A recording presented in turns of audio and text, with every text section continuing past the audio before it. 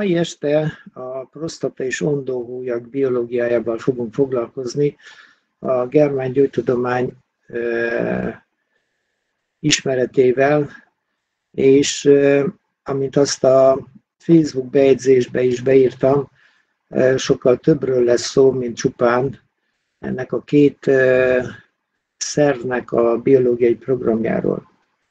Ugyanis látni fogjuk, legalábbis azt szeretném bemutatni, hogy a dolgok mennyire összefüggnek, valahogy úgy minden mindennel összefügg.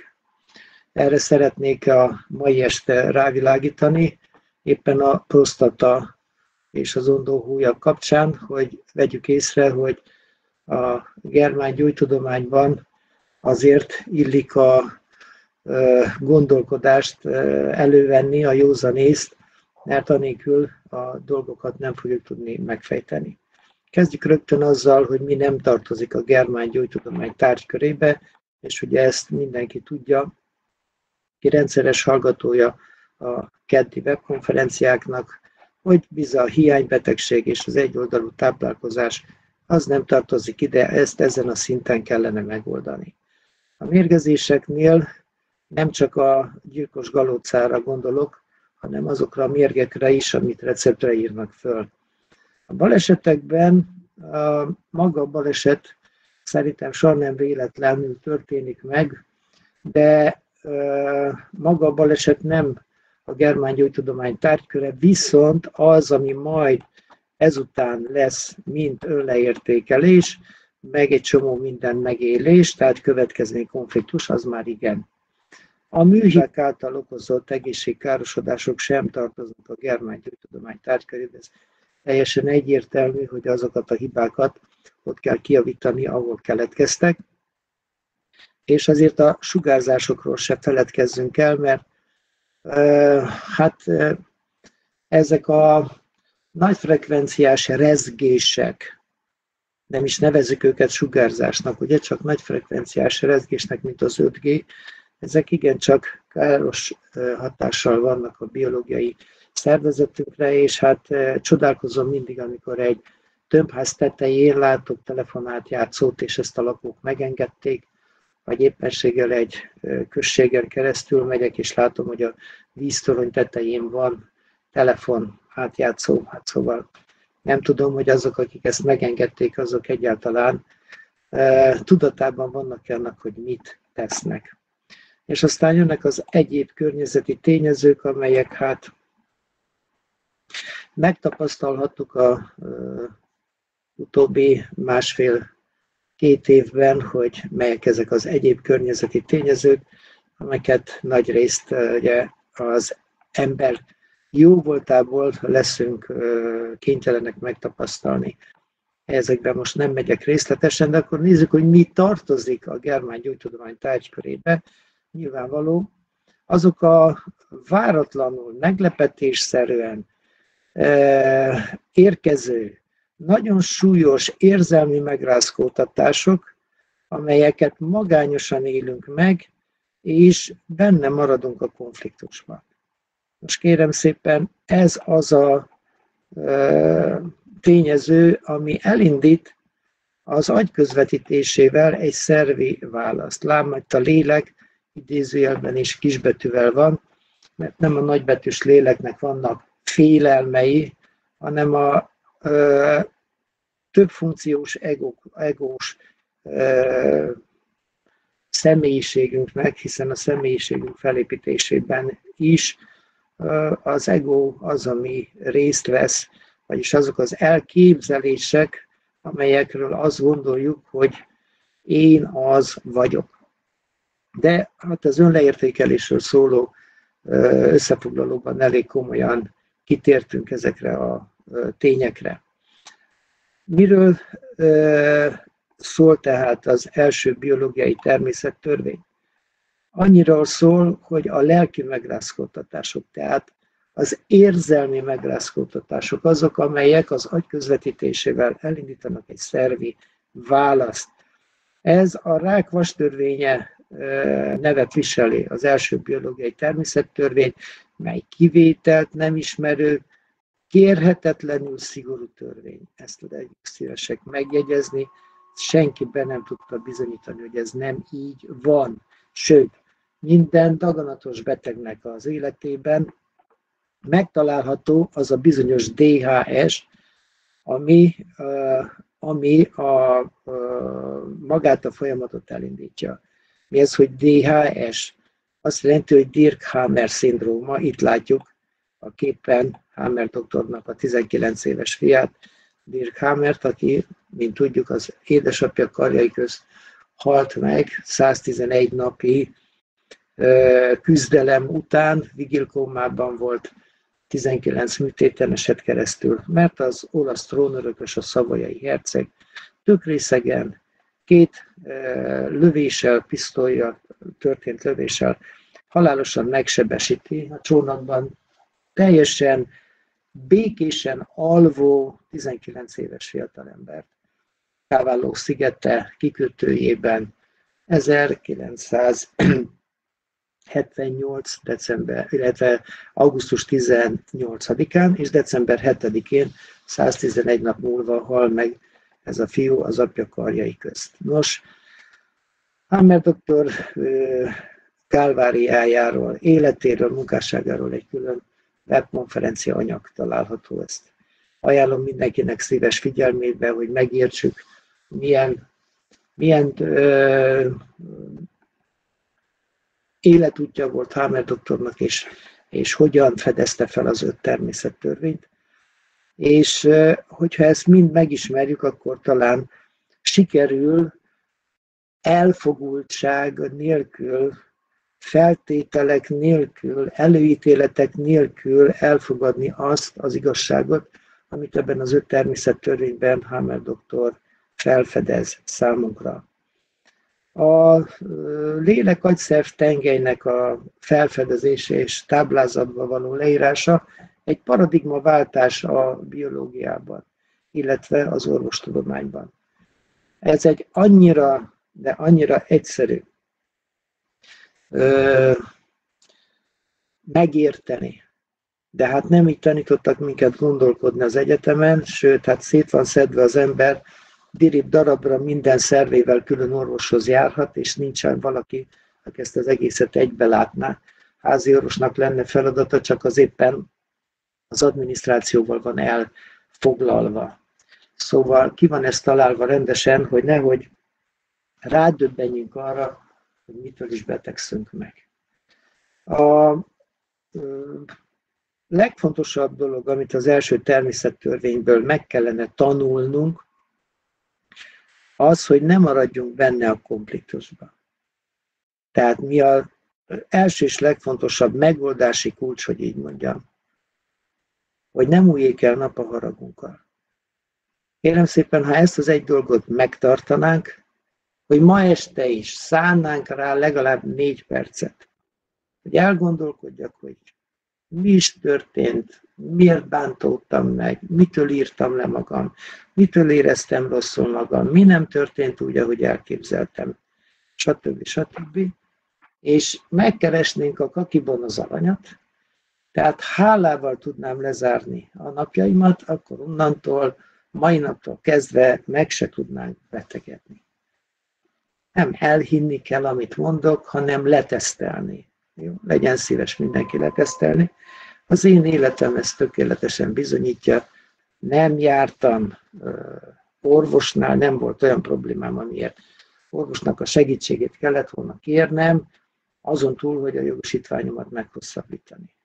Tökéletes a vérnyomásom, minden rendben van, semmilyen gyógyszert nem szedek. Úgyhogy el tudom mondani, hogy a rendszer működik.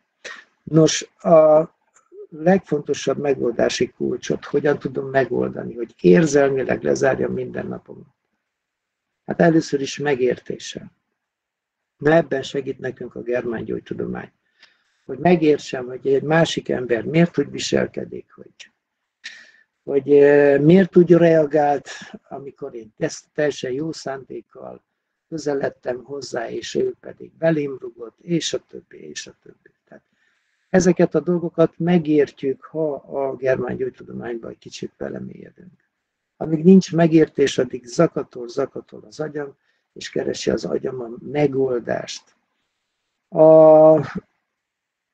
ha a megértés megtörtént, akkor mindenképpen a megbocsátás lenne a következő lépés, mert megbocsátás nélkül nincs gyógyulás. Ezt tessenek szíves lenni leírni. Megbocsátás nélkül nincs gyógyulás. De nem úgy bocsátok meg, hogy igen, megbocsátok, de nem felejtek. Megbocsátok, de többet ide, de be nem teszed a lábad. Szóval van van a megbocsátásnak egy olyan fantasztikus hatása, amit szavakkal nem tudok elmondani, leírni. Egy olyan, egy olyan megkönnyebbülés, mintha az ember egy mázsas súlyt tett volna le. Vagy elengedett volna egy kerekek nélkül magam után húzott, mit tudom én, 150 kilós rönköt, csak végre elengedek. Szóval valami döbbenet, és ugye mi a következő? Az elengedés. Tehát megértés, megbocsátás, elengedés. Elengedem a negatív élményeket az életemből. Aki ezt nem hajlandó megtenni, aki ragaszkodik minden sérelméhez, minden fájdalmához, sőt, listájában, hogy ki mikor, hol hibázott, hát kérem szépen, az még mindig a, tesztelni fogja a táblázatot, mert a nagyokos agyunk nem tud különbséget tenni a valóság, az álom és az illúzió között. Nyilvánvaló, aki nem hiszi, tesztelje le. Nem akarok senkit sem meggyőzni azokról a dolgokról, amit itt elmondok. Ezek bizonyított tények számomra, tehát én tapasztalati tényeket mondok el, és nem az, hogy olvastam egy könyvet, és hórá profi vagyok. Nem. Emögött hatalmas munka áll, hogy én kiállok, és ezekről a dolgokról beszélek. Tehát Jegyez, jegyzeteltünk megértés, megbocsátás, elengedés, elfogadás, feltétel nélküli elfogadás. És most jön az atombomba, hála. Kérem, ha én hálát tudok adni azért, mert az illető ezt vagy azt csinálta, nyilvánvaló ez már egy, ez már egy magasabb szintű szemlélet. Tehát ugyanazon a síkon, ahol meg, ahol megtapasztaltam egy negatív élményt, azon a sikon ezt nem fogom tudni megoldani, csak ha így felülről nézek le, és akkor látom az összefüggéseket. Akkor fogom megérteni, hogy minden az életemben miért történik, és akkor rájövök, hogy nem csak a biológia van értem és nem ellenem, hanem az egész életem értem van és nem ellenem. És amikor, amikor az ember rádöbben arra, teszem azt 40 évesen, hogy talán mégse a szülők a hibások azért, mert neki ilyen sanyarú élete van. Talán mégse a szülőkre kéne mutogatni, mert mit tudom én, mit nem kaptam én meg annak idején, és a másik ember megkapta.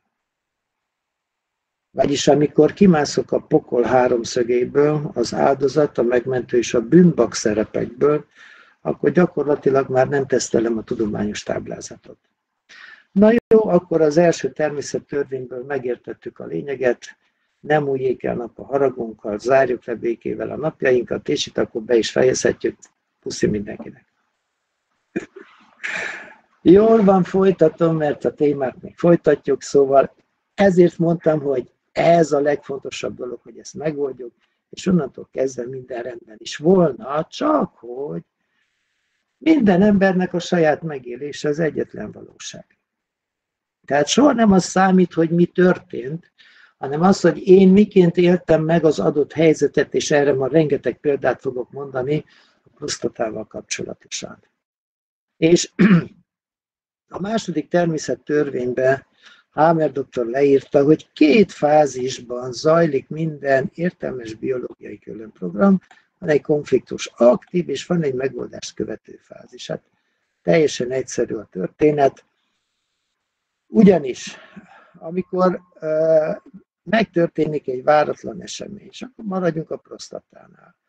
A legjobb barátom igencsak félreérthetetlenül bámulja a páromat.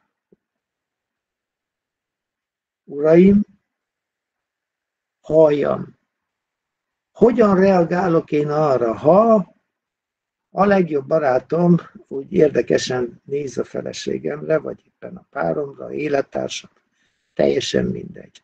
Na itt jön az, hogy mindenkinek a saját megélése lesz az egyetlen valóság, de ez azért DHS-ként csapódik be az életembe, mert ugye ezt nem így képzeltem el.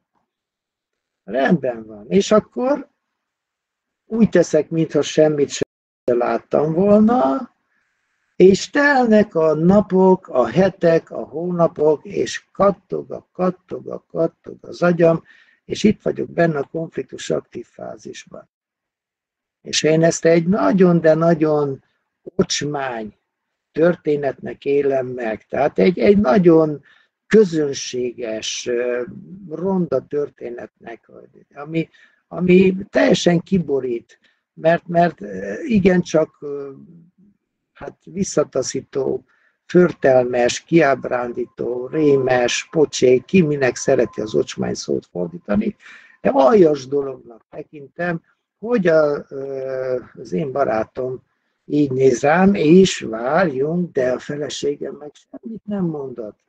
Hát akkor zakatolni fog az agyam, és elindítom konfliktus aktív fázisban az ismert tüneteket, hogy nem tudok nyugodtan aludni. Éjszaka is álmomban ez a történet újra lejátszódik. Már nincs étvágya menni sem, emelkedik a vérnyomásom, a pulzus számom, stb. stb. Aztán végre megtörténik a megoldás, mert mi történik? Hát esetleg a feleségemmel megbeszélem a történetet, és azt mondja, hogy láttam, hogy a Jenő úgy nézem, de mit izgat az engem? Felejtsd már el. Szóra se érdemes. Ez az ember szóra sem érdemes. Na jó, akkor lenyugodtam, és jön a megoldás, és a megoldásban érezni fogom a a exodatív fázisban azt, hogy mintha egy tízes vasat dugtak volna a fenekembe. Ott alul középen valami olyan rettenetesen ég, hogy ihaj, éjszaka azt izzadok, mint a lú, és ráadásul hát gyengének érzem magam.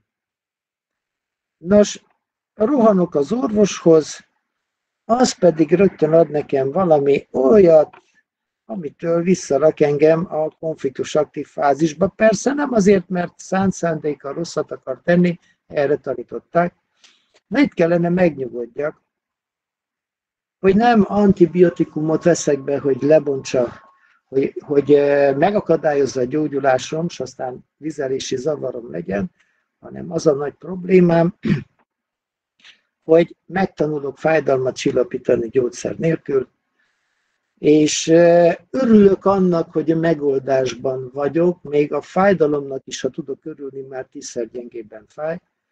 Örülök, hogy nem vagyok egyedül ebben a történetben, hiszen megbeszéltem a párommal a dolgot, tehát nem gyűjtök be több vizet, mint amennyi szükséges.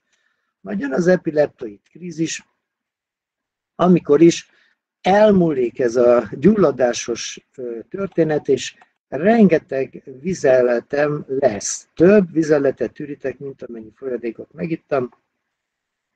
És a hegesedési fázisban pedig, hát igencsak gyengének, kifacsart citromnak érzem magam, és jó a hangulatom, most már túl vagyok a nehezén, jó a kedvem, jó az étvágyam, végre tudok enni, csak mondom, rettenetesen fáradt vagyok.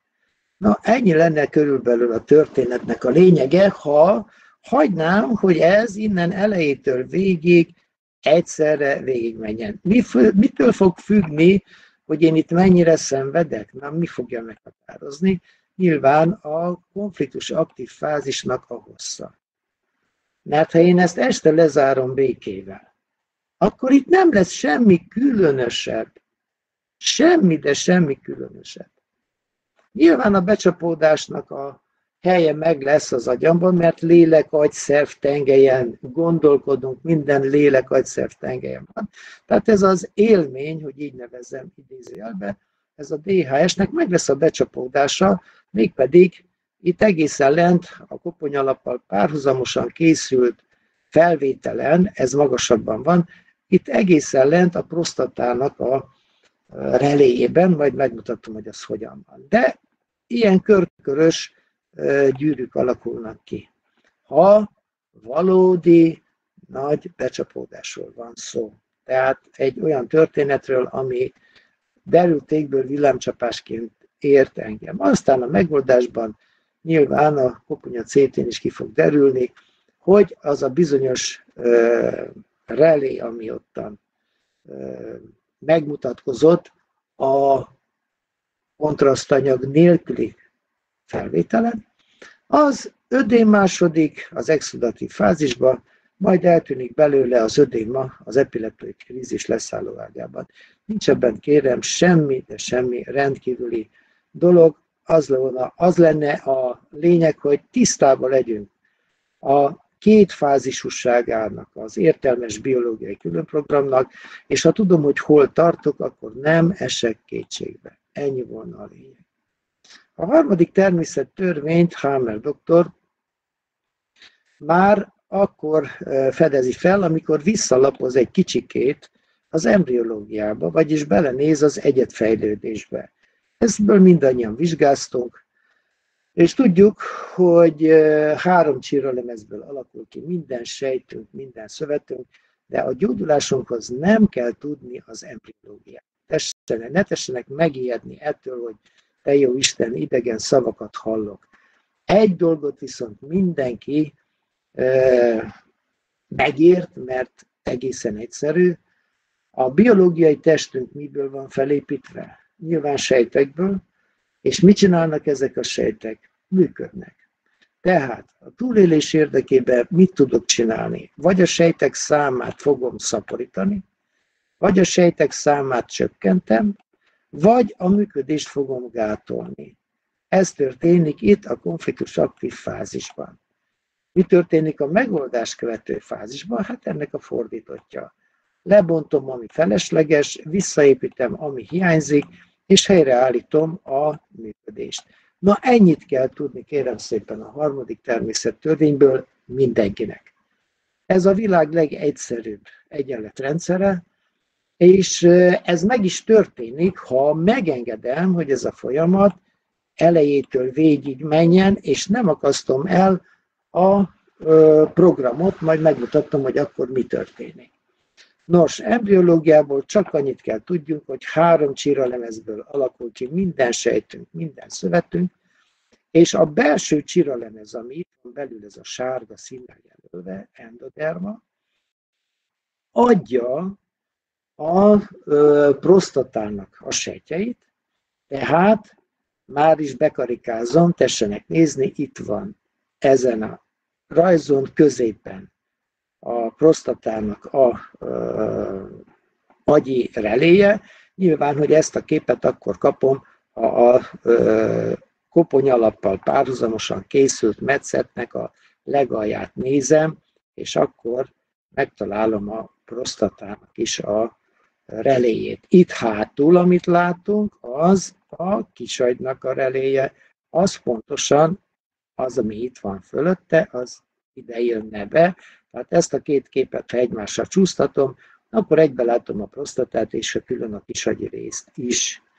Ezt a két képet is egybe tudom e, csúsztatni, és akkor egybe látom a kérgi és a e, velőállományi reléket is, csak hogy így szétszedve mégiscsak nyilvánvalóbb és egyszerűbb a magyarázat. Tehát belső csiralemez, külső csiralemezből alakul a külső bőröm, amint látjuk, és még egy csomó minden. Ennek a reléje, a, a irányító központja az érző központban van, azt is meg fogom mutatni, és e, nyilvánvaló, hogy a, a, az agykéreg lesz az, ami ezt irányítja. A sárga és a piros közötti területben narancssárga színű sejteket látunk, az, ami a piroshoz tapad. Azt úgy hívjuk, hogy új mezoderma, középső csiralemez mezoderma, itt van, a külső az ektoderma volt, tehát az új mezodermából alakul ki az összes olyan sejtem, ami mondjam a külső bőröm és a belső csőrendszer tápcsatorna között van, és ide tartozik a csont, az izület, az izom, ha rácsikolt izom, az izmokat ellátó erek, osztógyűjtő nyirokerek, és zsírszövet és kötőszövet. Nem megyek további részletekbe, mert ez már, ez már uh, nyilván a megértéshez tudni kell, de uh, a gyógyulásunk attól fog függni, hogy mikor zárjuk le érzelmileg azt, amit érzelmileg egy félelem alapján elindítottam. A negyedik természet törvény az már, hogy is mondjam, azért rázós, mert itt olyan dolgokat találkozunk, aminek eddig pont a fordítottját tudtuk. Pedig Louis Pasteur előtt már voltak felfedezések, és Louis Pasteur után is nagyon sok kutató, biológus, orvos mondta, hogy az nem éppen úgy van, ahogy ezt Pasteur ránk hagyta, amint kiderült, hát hogy is mondjam, megfinanszírozták a véleményét, de hát ezen már nem csodálkozunk. A lényeges azt számunkra tudni, hogy ezek a velünk élő mikrobák, vagyis mikroorganizmusok, ezek a csiralemeznek megfelelően fognak segíteni minket. Tehát ha három csiralemez senkinek keresse a testébe, abból alakul ki minden sejtünk. De a gombák mindig azoknál a sejt, sejteknél fognak segíteni, lebontani a felesleget, amelyek a belső csiralemezből származtak, nyilván agyos irányítása alatt van. A TBC baktériumok megint csak nem, a, nem kórokozók, a kisagy által vezérelt programokban fognak segíteni mit, hogy szintén lebontsák a felesleges sejteket a megoldás követő fázisban. Ezek még a konfliktus aktív fázisban már e, termelődnek, és a megoldás mikor megtörténik, pont elegendő számban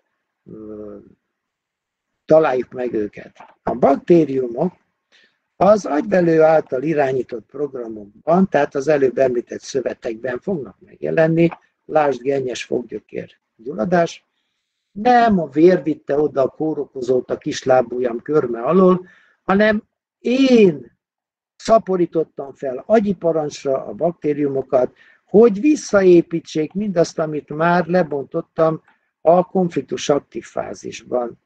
A vírusok ugyanígy segítenek visszaépíteni azt, amit már lebontottam féltékenység miatt, mondjuk legyen ez egy humán papilloma vírus, és akkor az ugye a ményak ráknak kórokozójának van kikiáltva, holott ő csak azért van jelen, mert éppen dolgoznak, ha megengednénk. És van itt egy nagyon érdekes dolog, ugye a működés változás, a működés gátlása, konfliktus aktív fázisban, mondjuk inzulin kiáramlásnak a, a befolyásolásával, a gátlásával mi fog történni. Ha csökkentem az inzulin kiáramlását, nyilván megemelkedik a vércukorszinten, és ha folyamatosan ezt csinálom, akkor cukorbeteg leszek. Ellenszegülést kell hozzá csak megélni, a működésnek a helyreállítása viszont megtörténik, ha feloldom a konfliktust, vagy megváltozom, és a lényeg, hogy ebben az esetben nincsenek mikrobák a gyógyulási fázisban. Tehát nagyon egyszerű mindaz, amit itt kivetítettem, csupán bele kéne gondolni abba, hogy hova is, mi, mit jelent az, hogy a, egy erizipellász gyógyítása során, magyarul Orbánc, ugye, gyulladt kötőszövetről van szó, mondjuk a lábszáromba, szedem az antibiotikumot, marékszám, oké, okay, rendben elmúltak a tünetek, és eltelik két hét, három hét, egy hónap, és újra megjelenik. Na miért? Mert elbújtak ezek a kis ügyesek? Ugyan már kérem szépen. Tessenek már komolyan gondolkodni. Nem elbújtak, újraindítottam ugyanazt a programot, és ezeknek dolguk van, és ezek megjelennek, és teszik, teszik a dolgukat. Szóval ennyit a bennünk élő hát gombákról, baktériumokról és vírusokról. Már a medicina elismert, hogy vannak hasznos élőlények is a szervezetükben, főleg a tápcsatornában, de nem csak ott vannak, hanem a testünk minden részében. Most, ha minden ilyen gyönyörűen történik, ugye már is hallom a kérdést, akkor miért vannak krónikus betegségek? Hát itt van a magyarázat. Egy, mert fel oldottam a konfliktust. Mikor fogom már végre lezárni a múltamat? Mikor fogom már az életemet másfajta gondolkodás mentén rendezni? Ha nem oldottam meg a konfliktust, akkor benne vagyok a konfliktus aktív fázisban, és mondjuk ez egy agyvérzésnek nevezett korkép esetén igencsak szembe tűnő, hogy az illetőnek még mindig görzsben van a keze, meg a fél lába, le van bénulva, és hideg a béna keze és a béna lába. Akkor ő még mindig konfliktus aktív fázisban van. Vagy még mindig magas a cukra valakinek. Miért? Mert még mindig nem változott semmit sem a viselkedése. A függő gyógyulás az, amivel teljesen tönkre tudjuk tenni a szervezetünket, és ezt fogják autoimmun betegségnek kinevezni. Miért? Legyen itt szó mondjuk egy prostata programról, mit csinálunk? Konfliktus aktív fázisban szaporítom a prostata sejtjeimet azért, hogy még több, még több váladékot tudjak termelni. Megoldottam a konfliktust, de hogy oldottam meg? Megváltoztak a körülmények, a barátom nem jön hozzám egy ideje, de a munkahelyemen minden nap találkozok vele. Tehát elindítom én minden nap otthon a gyógyulásomat, lebontom a felesleges sejteket, de ezt a munkát leállítom, amikor őt újra látom. Aztán neki fogok, megint bontom, megint leállítom, megint bontom, megint leállítom, és ennek az lesz a következménye, hogy a, a prostata elkezd sorvadni, és egyre kevesebb váladékot fog termelni, tehát mindenképpen az ondó váladék mennyisége csökkenni fog. Policiklikus lefolyásban az történik, hogy a program mindig eljut a végére, látjuk itt van, itt a vége, fuss vélet. Mindig eljutok a végéig, de nem történt meg a megoldás, vagyis nevezzük ki, mondjuk az barátom, az csak, mit tudom én, havonta egyszer jön el hozzánk, széles vigyorral az arcán, megebédelünk, elmegy, és hétfőre nekem már meg is van a prostata gyulladásom, de már megszoktam, hogy ha a barátom itt van, akkor, és elmegy, akkor másnap nekem tüzes piszka vasat dugtak a fenekembe. De mire orvoshoz mennék, meg időpontot kapnék, meg minden, addigra már meg is gyógyul magától. Tehát ez a policiklikus lefolyás. Jó, na most mondtam azt az előbb, ugye, hogy mert a cukorbeteg mit csinál? Az a szokása neki, hogy mindennek ellenszegül. És ez a könyv, mit tegyek, hogy jó legyek, hogyan találom a megoldást, pontosan arra hívja fel a figyelmet, hogy én egy biológiai programot nem csak a DHS által tudom fenntartani, hanem egy inger küszöb fölötti inger is elegendő ahhoz, hogy a program végigfusson, ez a minden vagy semmi törvénye. Élettani tanulmányaimat dolgoztam föl ebben a könyvben, nyilván a Hammer doktor törvényeinek és tudásának megfelelően, és így jöttem rá arra, hogy miért van az, hogy az emberek nem találják a konfliktusát, mert ezt már bő tíz éve keresem, mert mindig találkozok emberekkel, akik azt mondják, hogy nekem milyen konfliktusom nincs. Oké, okay, de ha sinen maradtam, akkor már csak egy emlékeztető inger elég ahhoz, hogy újra induljon a program. Ugye nem kell újabb EHS, a sinek már maguktól is elindítják a programot. Tehát a sín is csak egy inger küszöb fölötti inger. És az is egy inger küszöb fölötti inger, hogy bárkivel találkozom, vagy bármit mondanak, nem. És ez az ellenszegülés, ez ugye a dac korszakban nagyon aranyos, amikor egy gyerek ilyen, de ha egy felnőtt ugyanígy viselkedik, hát akkor meg is csinálta magának a cukorbetegséget. És aztán a többi, csak néhány dolgot szedtem itt ki, hogy mindenre azt reagálom, hogy ezt nem lehet elviselni, benne is van a könyvben egy ilyen idézett levél, pont mikor írtam, akkor jött a levél.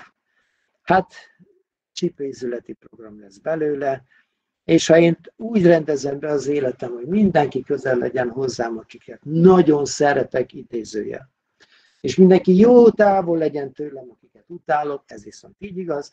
Szóval ez mit fog csinálni? Elválasztási konfliktus mind a kettő, és ez krónikus bőrprogramokat fog oldani. Ekcéma, pszoriázis, tessenek a bőr programrait megnézni. Vagy az elválasztási konfliktusról megalkotott külön kérdést. Bosszankodás, hát igen, vannak emberek, akik nem tudnak semmiképpen másképpen gondolkodni, csak bosszankodva. Mint egy keresik azt, hogy de miért bosszankodhatna még ezen is. Jó, hát annak krónikus máj sepeuti programja meg lesz, és lehet, hogy egy kortya alkoholt se iszik, de a gamma GT szintje az egekben lesz. A hölgyeknek a, a közös vonásuk, hogy ők aggódnak. Hát és ezért ugye a meldaganat az borítékolva van, mert miért lenne, hölgyeim, ha nem aggódnánk, ha nem bíznánk a gyermekeinkben? Ha bíznánk a nevelésünkben, akkor vajon mi lenne? Aggódással sikerült valaha valakit is megmenteni? Soha. Vannak emberek, akik mi rágódnak, na ők a Neotonnak nem hallgatták meg a dalát, hogy csak a beteg mókus rágódik a múlton. Ez a gyomorprogram, és hát ugye ezzel a rágódással oly gyönyörű gyomorrákot lehet csinálni, hogy ihaj csuvaj. De hát ha lezárom békével a napjaimat, akkor lesz ilyen? Nem lesz. És hát itt van a féltékenység bejelölve, mert ugye oké, okay, hogy a barátom igen, kétértelműen nézett a páromra, de itt megjelenik bennem nem csak az ocsmány ság, a konfliktus, hanem megjelenik bennem egy szexuális birtok, féltés, vesztés, és az viszont az ondóhólyagomat fogja érinteni, majd mindjárt ki fogok erre is térni. A tudományos táblázatban, illetve hát a weblapon a Germán gyógytudományról szóló menüpont alatt a konfliktus típusokról részletesen olvashatunk. Itt most csak röviden a három szín a három lemezre utal, ugye a sárga a belső lemez. Ennek a sejtjeit az agytörzs irányítja, és mik tartoznak ide? Hát a falatkonfliktusok. Minden, amire szükségem van, hogy én magam életben maradjak, az úgy kell nekem, mint egy falat. Ezeket én meg kell kapjam, és ezért nevezte Hámedot a falatkonfliktusoknak. Tehát ide tartozik a levegő, a víz, a táplálék, a fény és a hang. Feltételezem, hogy ezzel az öt tényezővel mindenki rendelkezik, tehát megnyugtatok mindenkit, hogy ebben a pillanatban nem fog frekvenciát váltani, mert az életben maradáshoz feltételek biztosítva vannak. Tehát nem az számít, hogy az unokám meglátogatta, hogy az ex-férjem küldi a pénzt, hogy túléljek, hogy van-e 13. nyugdíj, vagy nincsen. Ezek a tényezők abszolút, de nem biológiai szükségletek. A biológiai szükséglet az életben maradáshoz még egyszer a levegő, a víz, a táplálék, a fény és a hang. Ebből hármat ingyen kapunk, a vízhez még igazán mindenki hozzá tud jutni, és azért a marék táplálékért pedig nem kéne egymást megöljük. A legsúlyosabb történet, amit az agytörzs irányít, az a veséknek a programja, mégpedig a vesegyűjtő csatornák programja, ami a víz visszatartásához vezet. Na ez azért a, sürgő, a sürgős megoldandó feladat, mert én eddig magányosnak, számkivetetnek, meg nem értetnek, kirekesztetnek érzem magam, addig, vagy a léthez, a létezéshez szükséges feltételek nincsenek biztosítva, értjük, létkonfliktus, akkor mi az, amivel én a túlélésemet tudom biztosítani? Hát ez a víz. Ez annyira régi ügy, mint a halaknak a története, és a halak is, ha a partra kidobja őket a hullám, akkor és visszakerülnek, akkor életben maradnak, de míg a parton vannak, addig lezárják a víznek a kiáratát, hogy túl éljenek. Ez, a, ez annyira régi-régi történet, hogy e, ezt minden emlős megcsinálja, a kutyától az emberig minden emlős állat, amikor a magányosságot, a kirekesztettséget, a boldog párkapcsolatban a társas magányt megéljük.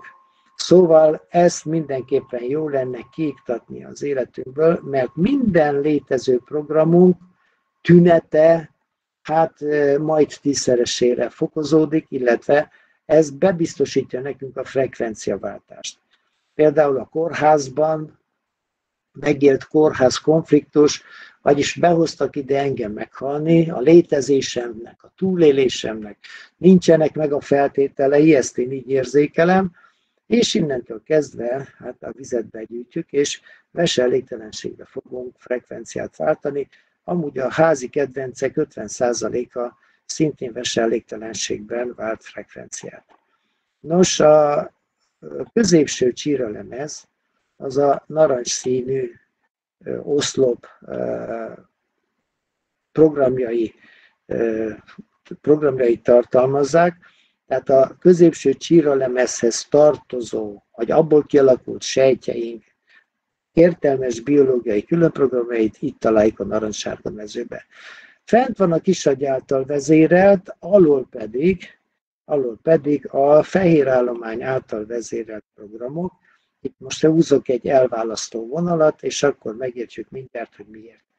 A kisagy által irányított programban, ugyanúgy, mint az agytörzs által irányított programban, először építek, tehát sejteket szaporítok, megoldásban lebontom a felesleges sejteket. Rendben van. Mit csinálunk a agyvelő által irányított programokban? Ennek a fordítottját. Először bontok, és utána pedig építek. Ez egyszerűen megérthető, ha arra gondolok, hogy a kisagyat támadási konfliktusok kapcsán sejtet szaporít, mert a egri védők, egri várvédők sem lebontották a falakat, hanem megerősítették, megvastagították a falakat, a várfalakat a török érkezésének hírére, tehát először építek, Agyvelőnél viszont az önleértékelés nyilván önleértékelés, mit jelent önpusztítást, tehát itt mindig először sorvasztok, fájdalom nélkül nyilván, és jön a fájdalom a megoldásban. További részleteket a megfelelő előadásokban fogunk kapni. Az agykéreg által vezérelt programok pedig itt vannak a piros oszlopban, Ugye a külső csíralemez sejtjeit irányítja az agykéreg egészen így idáig, és itt a vonal alatt pedig a működés változások vannak, tehát amikor blokkolom a működést, konfliktus aktív fázisban, majd visszaállítom a működést a megoldásba. A sejtekre ugyanaz a történet, mint az agyvelőnél, tehát először sorvasztok, a megoldásban pedig visszaépítek. Ide tartoznak az elválasztási konfliktusok, birtokkonfliktusok, birtokzónán kívüli konfliktusok. Tehát további részleteket az öt természettörvény előadásában, illetve a tanfolyamok előtti ingyenes előadásban kaphatunk.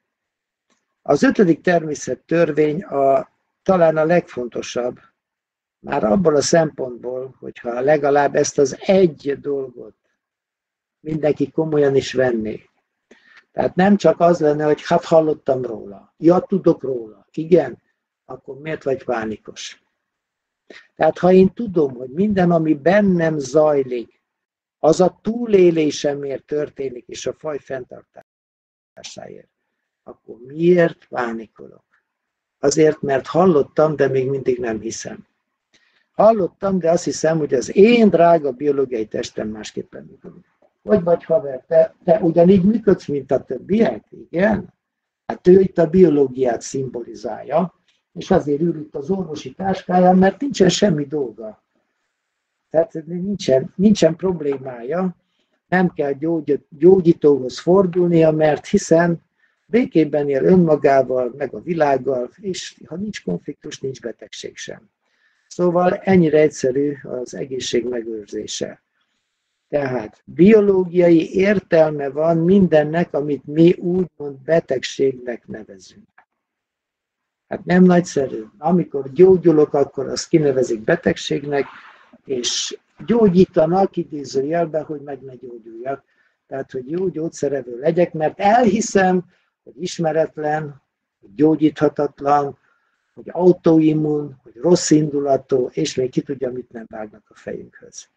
Na ez a diagnózis sok, ez sokszor nehezebb feloldani, mint magát a konfliktust. De hát itt jön az, hogy ameddig a gondolkodásomon nem változtatok, hát addig semmi, de semmi nem fog változni. Hammer doktor téziseit már 98-ban elismerték, méghozzá egyetemi szinten. Hiába kérte Hammer doktor a Tübingeni Egyetemen, hogy vizsgálják felül a téziseit, hivatalosan ők nem vizsgálták meg, hivatalosan. De természetes, hogy már az első természettörvényt is megismerték, és tudták, hogy Hammer doktornak igaza van. A részleteket mondom, a róla szóló előadásból tudunk meg, és a Nagyszombati Egyetem, Turnává Univerzitá, a Nagyszombati Egyetem 98. szeptember 11-én már igazolta Hammer doktor téziseinek az igazságát. Hát ki is ez a Hammer doktor? Itt van ez a csodálatos ember, aki ugyan frekvenciát váltott, ez tény és való, ott voltam a temetésén, de e, tudjuk meg, hogy itt van közöttünk és segít minket. Mindenkinek segít, aki az ő segítségét kéri, legalább a megértésben. Hogy megértsük, hogy a gyógyulás az fájdalommal jár az esetek 90-95%-ában. Vannak programok, amelyek a konfliktus aktív fázisban már figyelmeztetnek arra, hogy kedves gazdám, állj le minél hamarabb, de hát nem muszáj. Lehet itt sok mindennel foglalkozni, csak a kérdés az, hogy, hogy mikor kezdünk logikusan gondolkodni. Nos, akkor térjünk át a mai nap témájára, az ondóhólyagra. Latin neve vesicula seminalis, jelzem, nem csak remélem, hanem tudom, hogy egyre több kolléga hallgatja az előadásokat, és hát a terminus technicus az benne van, de mindig magyarul is elmondom, hogy miről van szó. Tehát, ha megvizsgáljuk az ondóhólyagot, ez egy nagyon, de nagyon jó kép itten, mert ez egy, egy, ez egy bonszani kép, amit itt látunk. Ez egy gyönyörű felvétel, és ezt képzeljük el, hogy hátulról nézzük. Mit láttunk itt ezen a képen? Látjuk magát a, az ondóhólyagot, látjuk a prostatát és a húgyhólyagot. Tehát ez itten most ide húzok egy piros nyilat, ez a húgyhólyag. Ez itten az dülümirigy vagy a prostata, és most veszek egy másik szint, mondjuk egy zöldet, így, és ez lesz, ez lesz az ondóhólyag. Tehát ő az ondóhólyag. A ö, herékből a ö, spermiumok, vagyis a férfi ö, undósejtek a, ezen a szép szintén a zölddel jelölöm, ezen a két csövön érkeznek föl a herékből, megkerülik a hólyagot, mindjárt megmutatom egy másik képen is, és így jutnak be, amit látjuk, az ondó az, a prostatába, és a prostatába még találkozik, bejön az ondóhólyagnak is a váladéka. Most lakok ide egy kék szint, és akkor megmutatom, hogy ez a cső viszont, ami itt van, meg ez a másik cső, ami itt van, Ez viszont a veséből hozza a vizeletet a hólyagba. És akkor fogjuk megérteni, hogy a hólyag alap az hogyan alakul ki. Nos, mit csinál ez a, ez a most kitörlök itt mindent, jó? És beteszem meg itt a zöld szint. Mit csinál ez a gyönyörűséges hólyag? Itt van. A jobb meg a bal oldalon. Egy olyan uh, nyálkahártya alkotja, ami ektodermális, tehát külső csíralemezből származik, ezért az ő színe a piros szín, ektodermális eredet. Kültakaró séma szerint működik, ami azt jelenti, hogy konfliktus aktív fázisban nincs fájdalom, a fájdalom a megoldásban jelentkezik, epileptoid krízisben közben eltűnik. A nyálkahártya tehát belülről béleli ezt a hólyagot, alatta mi van? Alatta van, kérem szépen, a sejtgazdag kötőszöveti réteg, azt úgy hívjuk, hogy lamina propria, van kötőszövetes érburok, amit úgy hívunk, hogy adventícia, és van a két rétegű izomréteg, amit úgy hívunk, hogy tunica muscularis. Ezen kívül az egészet elasztikus, vagyis rugalmas kötőszöveti rostok fogják körbevonni, és akkor tehát egy, egy rugalmas, izmos, nyálkahártyával bélelt hólyagot találunk, aminek mi a nagy feladata? Hát itt van, kérem szépen, valamit hozzáad az ondó váladékhoz. És ez pedig egy fruktózban gazdag váladék vagy szekrétum, és látjuk, hogy van benne citrát, inozitol, prostaglandinok, fibrinogén, enzimek, stb. Ezek mind-mind szükségesek, hogy benne legyenek az ondóváladékban. Tehát maga az ondóváladék miből lesz? Abból, ami felérkezik a herékből, amit hozzáad az ondóhólyag, és amit még hozzátesz a prostata. Az ondóhólyagnál, férfiaknál mindig a koszorúér értelmes biológiai különprogrammal kombinálódó konfliktusa van. Miért? Mert idézőjelbe tenném ezt, hogy birtokvesztés. Egy szexuális témájú birtokvesztésről van szó.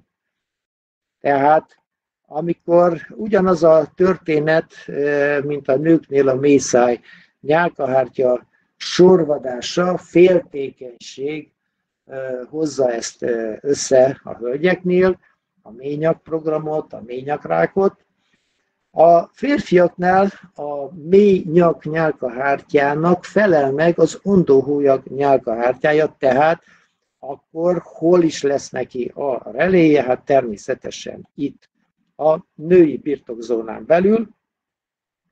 Egy pillanat hozok egy másik szint, hát hogyha az jobban látszik, legyen ez a zöld szín, így.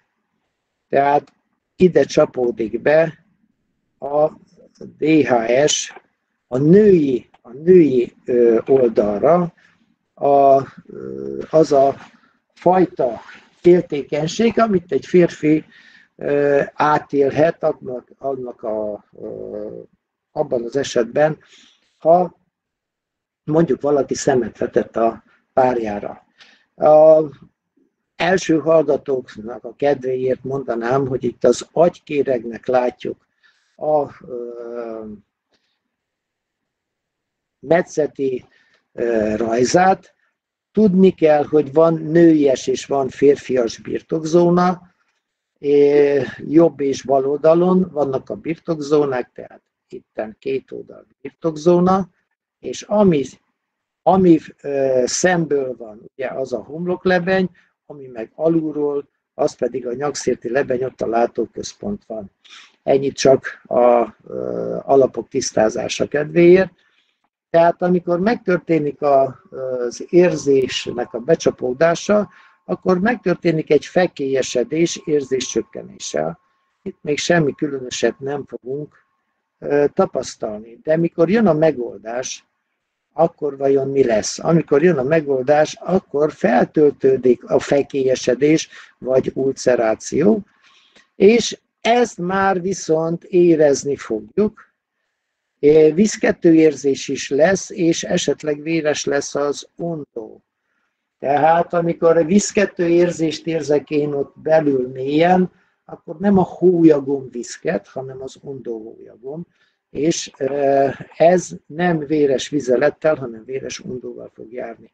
Epileptoid krízisben az érzés csökkenés lép föl, a vérzés az szinte kötelező, és ne feledjük az absence, vagyis a pillanatnyi idézőjelben lelki távolmaradás, vagyis egy pillanatra Hol is tartottam? Ja, már nem tudom. Szóval ez a, amikor így megszakadt egy pillanatra a film, és a probléma csak akkor van, ha ez autóvezetés közben történik meg. Az ondóhólyag izomzat nyilvánvaló, hogy az ondó hólyag nyálkahártyával együtt futtatja a programját, tehát amikor én itten a fekélyesedést elindítottam a nyálkahártyán, akkor elindítottam az izomnak is a sorvadását és a részleges bénulását. Amikor itt megoldottam a, a konfliktust, és feltöltöm a hiányzó nyálkahártyát, akkor az izomnak is a hiányzó részét visszaépítem, és az epileptoid krízisben nyilván jön a görcs, és ennek megfelelően a vérzést. És akkor ez nem összekeverendő egy hólyag görcsel. Ez nem olyan durva és nem olyan kemény történet, mint egy hólyag görcs az epileptoid krízisben, hanem egy sokkal finomabb és valahol mögötte érezhető dologról van szó. Na most behozom a prostatát, és egybe látunk mindent, mert ugye ez egy ö, ö, olyan kép, ahol a prostatát a frontális metszetben látom, tehát mint hogyha így levágtuk volna a hólyagnak az elejét, és látom itt a, a, prostatát ezen a, ezen a szinten, nyilván a normális és a, a kissé megnagyobbodott prostatát.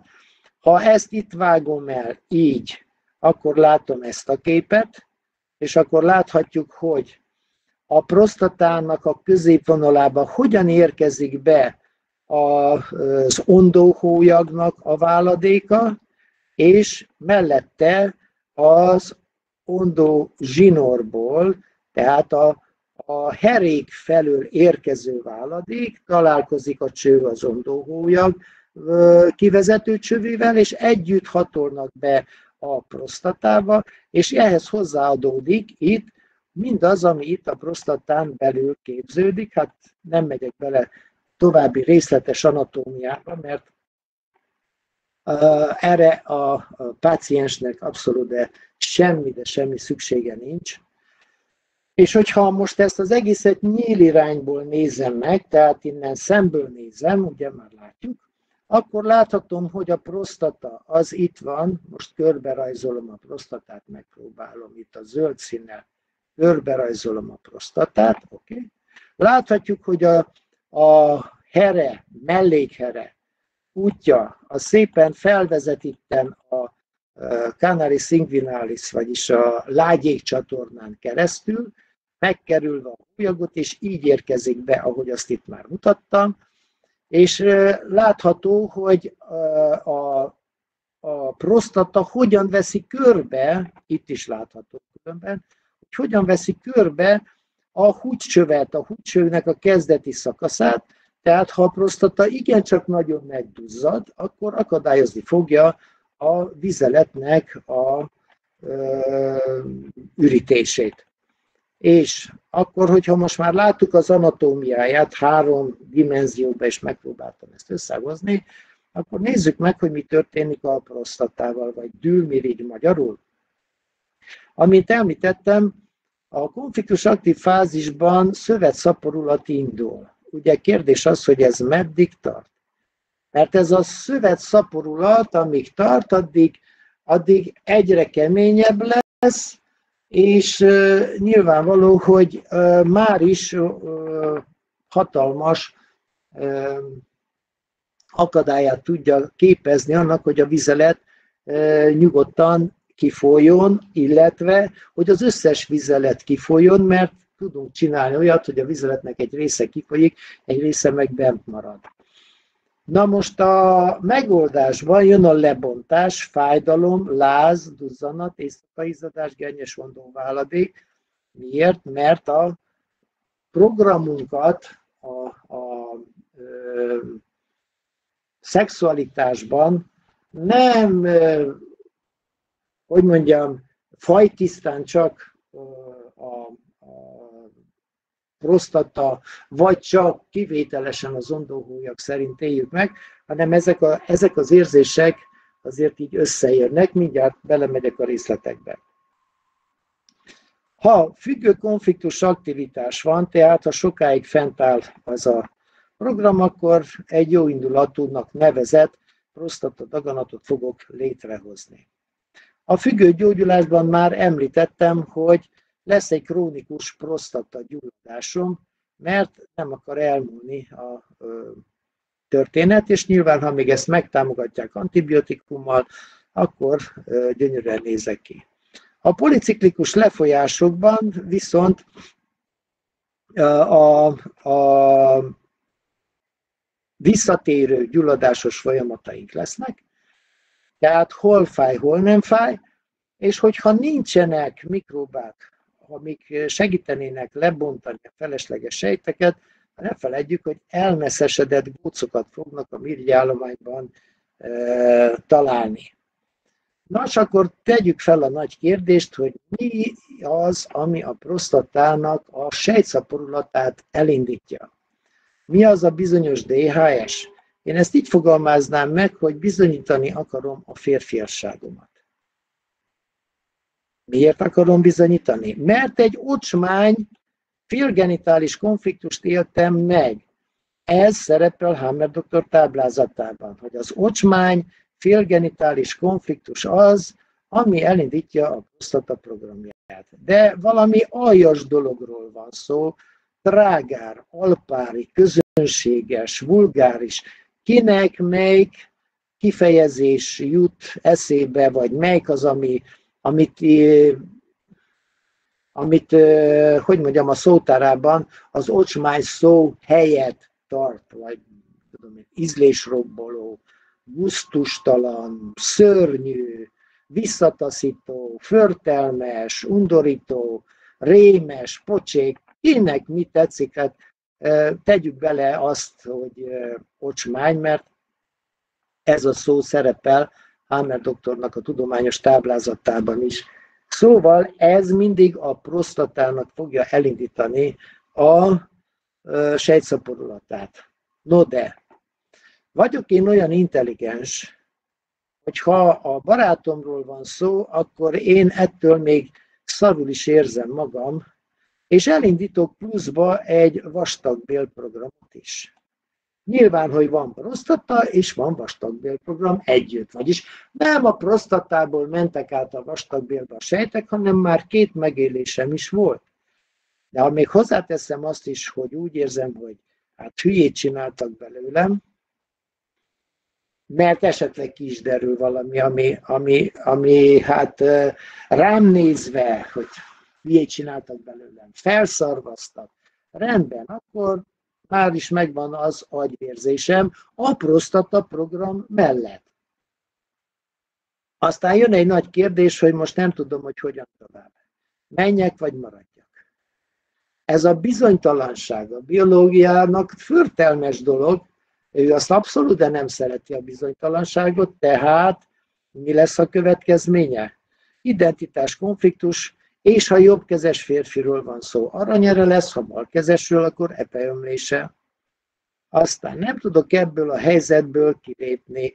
Hát ugye elmenekülni, tovább lépni, és ez már elegendő ahhoz, hogy elindítsak magamnak egy izomprogramot, vagy egy féloldali izomsorvadást, amiotrófiás laterálszklerózist, vagy nem tudom a páromat sem megtartani, sem elengedni. És akkor már, ahogy én remegek, nem remeg úgy senki. Szóval ezeket a dolgokat azért kellene hogy is mondjam, lezárni és idejében megbeszélni, hogy tudjunk nyugodtan lefeküdni, és ha el is indítottam valamit, még aznap állítsam le. Mert mi történik, ha identitásprogramot élek meg?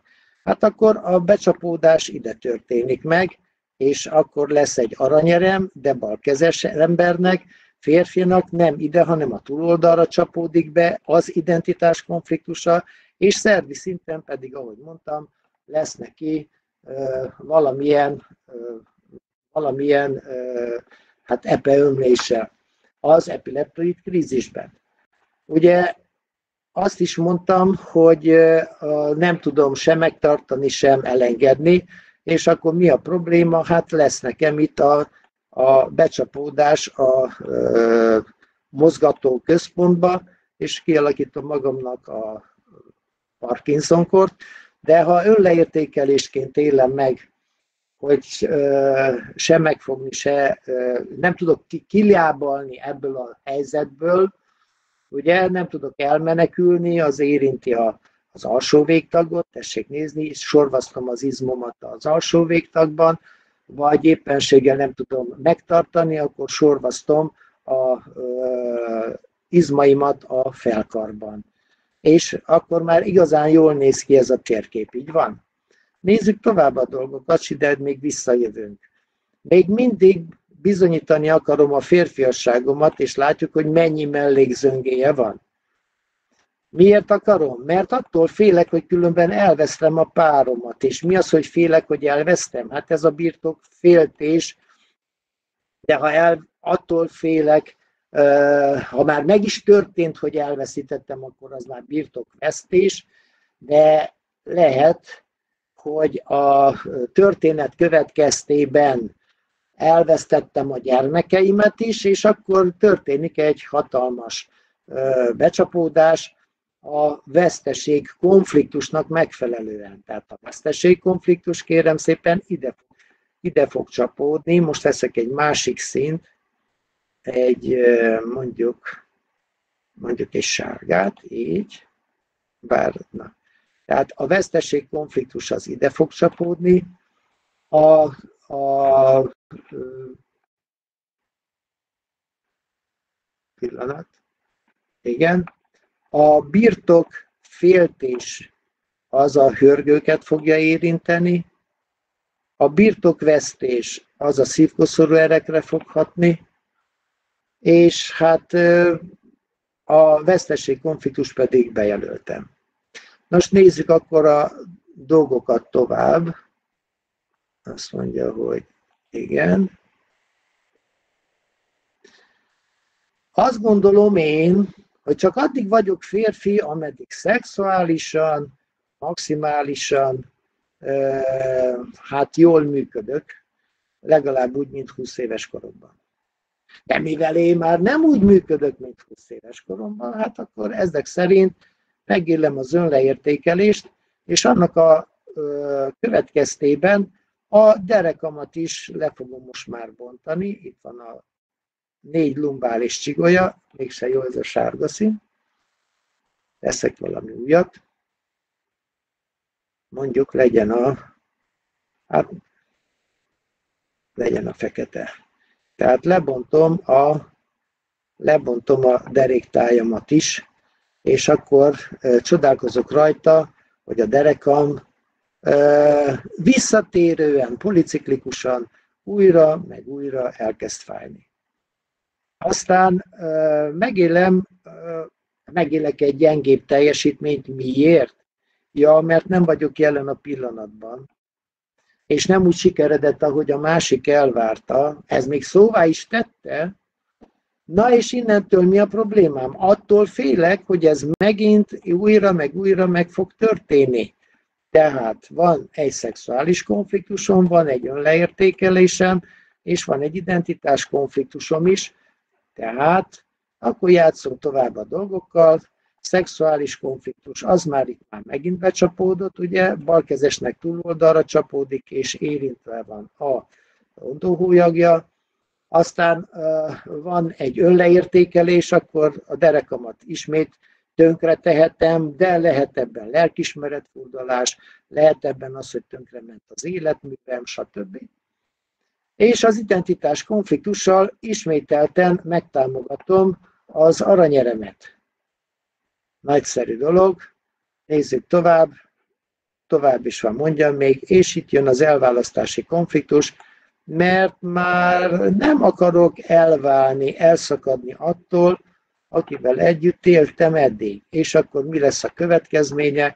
Hát az érzőközpontban itt vagyunk, elválasztási konfliktus, és hogyha e, ez az elválasztási konfliktus a, e, kapcsolódik azzal, ami itt volt a becsapódott, a, mint mozgással kapcsolatos konfliktus, hogy ebből a dologból kilépni, elmenekülni, akkor a kettő együtt egy gyönyörű epilepsziát fog létrehozni. Nyilvánvaló, hogy a prostata program az folyamatosan, ez itt jelen van, csak hogy még az én egyéb megéléseim, amiket még hozzáteszek, hát ezek igencsak tudják a dolgokat bonyolítani. Ezért mondtam, hogy sokkal, de sokkal jobban oda kell figyeljünk az érzéseinkre, mert hogyha nem is tudatosult, hogy mit éreztem, de megvannak a szervi tünetek, akkor nyugodjunk meg, hogy a biológiánk unalmában nem betegíti meg magát. Tehát a szervi tünet hajszál pontosan megmutatja, hogy mi volt az én megélésem. Ez a csodálatos a germán gyógytudományban, hogy minden egyes tünet mögött egy feloldatlan félelem, érzés, negatív érzés áll. Jó, akkor nézzük tovább a prostata programot, mert ugye az idő telik, és a idősebbeknél már a prostata egyéb dolgokra is hat. Például leszbikus lányomtól nem lehet unokám. És ezt a prostatámnak a, a, a sejtszaporításával fogom biológiai szinten lereagálni, de ugyanide vezet az is, ha mondjuk a fiam képtelen gyermeket nemzeni, mert már túl van a kemoterápián. Azok az emberek, akik, hát hogy is mondjam, igen trágár módon fogalmaznak. Vagyis a nemiség és a nemi szervek a mondat végén a pont, de nincs három, nem, nem tud három mondatot úgy elmondani, hogy valami ebből ne jelenjen meg benne. Az ilyen ember a birtok háborítást is a prostata programmal fogja lereagálni, mert az ember a, a szexualitás érzékeli saját birtokának. Tehát ő addig férfi, ameddig működik, és ezért mindent erre vetít ki. Na most, ha a birtok meghatározása ocsmány módon történt meg, akkor nyilván, hogy a birtok háborításra ő prostatával fog reagálni. És volt ilyen történetem idős ember, prostatával reagált a vesztesség konfliktusra. De milyen vesztességre? Azt, ha azt aljas módon élte meg. És akkor itt jön a párhuzamban, ugye, mert Hammer doktor leírja, hogy a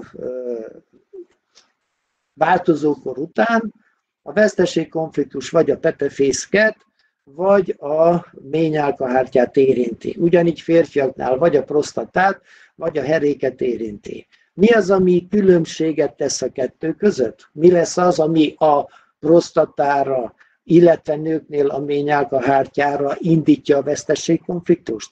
Ezt kérem szépen, hogy aljas módon éltem meg a vesztességkonfliktust, és innentől kezdve akkor érthető, hogy miért jelenik meg mindaz, ami megjelenik. Nos, ezek után akkor beszéljünk egy kicsit erről, ami már a főcímben azt, azt próbálta üzenni, hogy megoldás is van, nem csak megértés, hanem megoldás. A kérdés, hogy meddig akarom én bizonyítani a férfiasságomat? Meddig? Hát, ameddig tulajdonként kezelem a páromat. Mert ez az én feleségem. És én tulajdonként kezelem a páromat, akkor ne csodálkozzak rajta, hogy a, a birtok a birtok konfliktusok, a birtokzónán belüli konfliktusok, hát azok, azok szép számmal fognak megjelenni. Ugye itt vannak a birtokzónán belüli konfliktusok, tessék ezt megnézni. Tehát a szívkoszorúértől az ondóhólyagig, és a, a hörgőktől a, a epe ömlésig és az aranyérig rengeteg dolgot tudok megélni ezen a szinten. Tehát jó lenne, ha, ha itten elgondolkodnánk ezeken a dolgokon. Ameddig a szexualitás foglalja el az életről alkotott elképzeléseim legnagyobb hányadát, hát szóval ez mondanám, hogy korhoz kötött. Fiatal korban 25 éves korig, ám legyen 30 éves korig, legyen ez a központi téma, hogy minden, minden társaságban próbálom bizonyítani azt, hogy én az alfa vagyok. Na most, aki ezzel foglalkozik, az már biztos, hogy nem alfa. Egy alfának nem kell igazolnia, hogy alfa, az úgy messziről látszik. De aki egyfolytában a szexualitással kapcsolatban ehhez mértem, ezzel, ezzel összefüggésbe tudja az életét és a gondolkodását berendezni, annak borítékolva van a prostata programja, nem időskorban, ó nem, kérem szépen, már, már ifjúkorában. időskorban miért jelenik meg a prostatával kapcsolatos gond? Pontosan azért, mert önmagamat csupán a szexuális teljesítményem alapján határozom meg. És mivel beledumálják a fejünkbe, már akinek van televíziója, hogy az időskor azzal jár, hogy a lemenő napnak is van ereje, ugye ismerjük, szóval, és elhiszi, és akkor ezek szerint így is működik. Kérem szépen, az időskornak semmi, de semmi negatív megnyilvánulása nincs a szexualitásra nézve. Hát nem is lehet. Hát értsük meg, hogy a, a biológiában a fajfenntartás a legfontosabb probléma, a legmegoldandóbb ügy, és a férfi ember, amíg termeli az ondósejtjeit, addig képes azt, hogy is mondjam, továbbadni. De ha én elhiszem, hogy hát, hogy megöregedtünk, ugye ismerjük ezt a viccet, akkor ha valaki ebbe beleéli magát, hogy most már nyugdíjba ment, és akkor innentől kezdve minden megváltozik, akkor azt nagyon tudom sajnálni, akkor éljen úgy. De nem, a szex, nem csupán a szexuális teljesítmény alapján kéne meghatározzuk önmagunkat, jó lenne időskorban rájönni arra, legkésőbb időskorban, hogy az életünknek nem csupán a fajfenntartás az egyetlen feladata.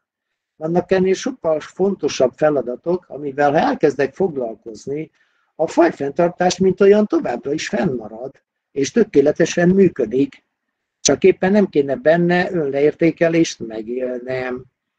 Szóval, a, amik, amikor uh, már nem csak uh, a szexet uh, üldözöm, hanem aki tanfolyamon volt, az már hallott, meg hát van előadás is az orgazmusról, aki már megtapasztalta, hogy mi az, hogy egységélmény, annak, annak már nem kell bizonyíték ahhoz, hogy csupán jelen kéne lenni a pillanatban. Ugye tudjuk a, a megoldást. Jelen vagyok a pillanatban. És akkor minden működik.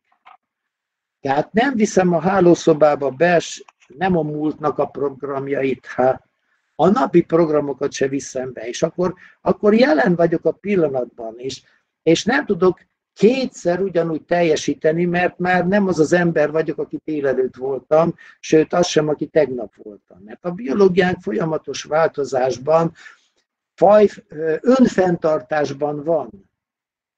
A sejtjeink cserélődnek folyamatosan. Tehát mindannyian itt, akik ülünk ebben az előadó teremben, gyakorlatilag biológiai szinten 7 évesek vagyunk. Mindenkinek a legöregebb sejtje maximum 7 éves. A májsejtjeink két hónaposak. Tessenek már megnyugodni. A testünk nem a halára van beprogramozva, hanem az életben maradásra. Csak meg kéne engedni neki, hogy ezt meg is tegye. Vagyis, ha örülni tudnék annak, ami van, és nem azon agyalnék, ami nincs, de lehetne, akkor minden tökéletesen működne a hálószobában is, és megtapasztalnánk ezt a fantasztikus élményt, amit csak úgy tudok leírni, hogy egység élmény. Szóval, ameddig fogalmam sincs, hogy ki vagyok én valójában, ameddig csak a 4% biológiai testtel azonosítom magam, meg azzal az aranypofával, aki a visszanéz a személyigazolványból rám, hát addig ki vagyok szolgáltatva neki. Vagyis addig mindig félelemben fogok élni. Amikor a félelem helyett a bizalomra szavazok, ez a 180 fokos fordulat, na onnantól fogok megtapasztalni olyan dolgokat, ami már sokkal, de sokkal magasabb szintű dolog, mint a túlélés és a, és a fajfenntartás. A tanfolyami anyagban benne van, hogy mi is az az intimitás. Az nem a testek, hanem a lelkek egymásba fonódása. Még egyszer mondom, nem a testek, hanem a lelkek egymásba fonódása. És nem az számít, hogy kinek hogy néz ki a teste.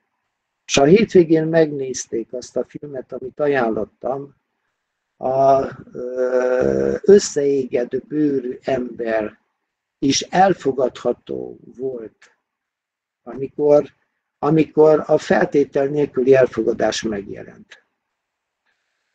A boldog kapcsolatnak a, a, az alapját az fogja megadni, hogyha én magamat rendben tartom, ha én békében élek önmagammal és a világgal, tehát a lelkem tisztasága annyit jelent, hogy elengedem a félelmeimet, az elégedetlenségeimet, és az összes olyan elképzelésemet, ami megakadályozza, hogy itt és most én boldog legyek.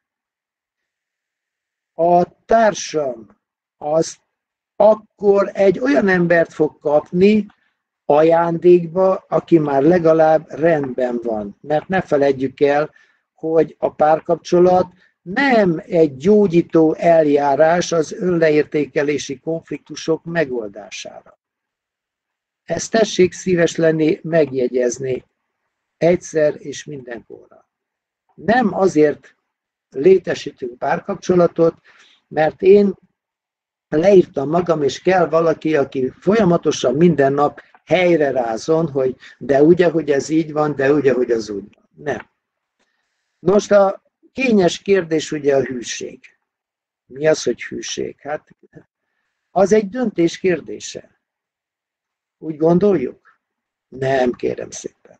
Nem egy döntés kérdése. Eldöntjük, hogy így lesz, úgy lesz, amúgy lesz, de egy párkapcsolat olyan, mint egy virágos kert, azt kérem szépen karban kell tartani, a gyomokat idejébe ki kell húzni. És olykor a ö, rózsabokornak a vadhajtásait le kell vágni, hogy szép legyen a bokor. Szóval ez csak azt jelenti, hogy egy párkapcsolatot is karban kell tartani. És a hűség az egy minőség, kérem szépen. Az egy minőség, ami megjelenik, és magától értetődő lesz, és marad. Meddig? ha egy kapcsolat arra a szintre jutott, és ott is megmarad. Tehát amikor én egységben élek önmagammal és a párommal, akkor, akkor miről van szó? Ha nincs meg az egység élmény, akkor nincs meg a hűség sem. Szóval értsük meg, hogy a szex és a, a rengeteg pornográfia az nem fogja pótolni mindazt, amit az egységélmény számunkra adni tud. Szóval én szeretném, ha ezzel mindannyian tisztában lennék, és akkor megértjük, hogy mit is hagyott ránk Konfucius. Azt mondta, hogy aki a célt ismeri, az tud dönteni. Tehát amikor van az életemnek célja, cél listája, akkor tudok dönteni, hogy mit teszek és mit nem teszek meg. És hogyha nekem van egy céllistám, és van egy, van egy utam, és tudom, hogy merre haladok, akkor ez már nyugalommal tölt el, és ha megnyel, megtaláltam a nyugalmamat, akkor már bizonyosságban élek, nem félelemben, bizonyosságban élek. Aki bizonyosságban él, az birtokolja önmagát, és aki birtokolja önmagát, az jobbá teheti az életét. Én úgy gondolom, hogy ezek olyan gondolatok, amiken a webkonferencián túl is érdemes lenne elgondolkodni. Nos, visszatérve a biológiába, mi a megoldás három lépése? Nyilván, hogy tisztázzuk a konfliktust és annak minden mellékzöngéjét, de ha valaki még önmagához se őszinte, akkor ott nem tudok mit csinálni. Aztán érzelmileg zárjuk le a konfliktust, mert nem fogok tudni senkit sem birtokolni. Senkit sem tudunk birtokolni, és a, pontosan a birtoklás az, ami megöl minden kapcsolatot. Vagyis csak az öl meg, amit nem tudsz elengedni. De ha én olyan kapcsolatban élek, ahol a másik ember is megélheti a teljes szabadságot, tehát nem kell megjátszania önmagát, hogy elfogadható legyen nekem, na innentől kezdve, innentől kezdve a, a történet egy irányba halad a két fél részéről, és ráadásul párhuzamosan és egyszerre haladunk a cél felé. A konfliktus érzelmi feloldása egy nagyon lényeges dolog. Nincs olyan, ami, ami nem megbeszélhető egy párkapcsolatban, és nyilvánvaló, hogy a megbocsátás nélkül semmi, de semmi nem fog megtörténni, ami előrébb viszi a dolgokat. A, a megbocsátáshoz viszont igen, tisztáznom kell azt is, hogy ki vagyok én valójában. A tudatos döntés lenne az, ahova el kellene jussunk. Úgy, ahogy azt Konfucius is megmondta, hogy aki, aki, már, aki már tud dönteni, ugye akkor az nyugalmat talál, és aki megtalálta a nyugalmát, az bizonyosságban él. Tehát tudatosan döntök minden nap, lezárom békével a napjaimat, és hálát adok minden este mindenért. A germán gyógytudomány tehát alap a megértéshez, a megoldáshoz és a megelőzéshez. Az alapokról ebben a könyvben lehet olvasni, hogyan segít a germán gyógytudomány egészségesnek lenni és maradni. 26 esetismertetés van benne. Tehát a betegségeink nem függnek a nemtől, a kortól, az etnikai hovatartozástól, az iskolázottságtól, hanem mitől függnek?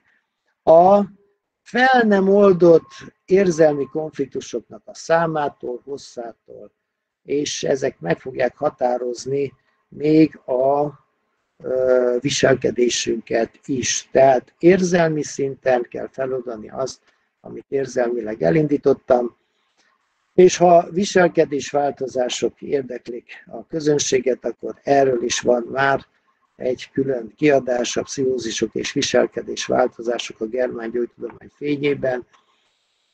És a lényeg az lenne, hogy megértsük, hogy itt tudományról beszélünk. Kérem szépen, senki nem tudta bebizonyítani azt, hogy Hammer doktornak nincs igaza. A tudomány az, ami reprodukálható. És rájövök, hogy az embriológia adja meg az alapját annak, hogy megértsem, hogy melyik szervemben, mikor, hogyan fognak a sejtek épülni, bomlani, vagy működést változtatni. Persze megtanulhatom az egész tudományos táblázatot, és szenvedhetek tovább tudományosan, ha érzelmileg nem oldom meg mindazt, amit érzelmileg kell megoldjak. Vagyis a betegség a beteg nélkül nem gyógyítható, nem véletlenül szerepel Ez a mondat a weblapnak a főoldalán. Itt a germán gyógytudomány fényét látjuk a prizma alatt, ami egész véletlenül a vörös, narancs és sárga színek, így ahogy egymás után következnek, ugye ez a három csíra lemez színe, megadja a megértést, megadja a megoldást, és megadja a megelőzést is.